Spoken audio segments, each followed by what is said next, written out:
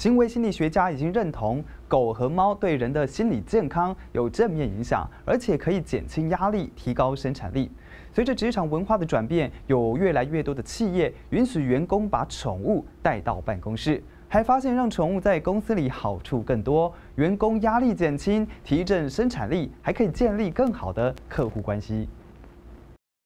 三年前，食品制造商雀巢旗下一家宠物食品公司在英国实施宠物到办公室的政策，发现允许狗狗与主人一起工作，不仅可以提高员工士气、职场工作关系、工作与生活的平衡，以及减轻压力水平。事实上，雀巢瑞士总部拥有一千多名员工，已经有超过一百名员工参与计划，将他们的狗狗带来公司。几年前，美国维吉尼亚联邦大学就做过一项实验。发现，当狗在附近时，人们的压力会减轻。研究人员取得一家公司员工的唾液样本，并观察压力荷尔蒙的含量。结果显示，只有与狗一起相处的员工，在一天结束时，压力荷尔蒙水准较低。研究人员认为，当抚摸狗时，压力荷尔蒙水准不仅会下降，还会产生更多催产素荷尔蒙，让你感觉更放松和快乐。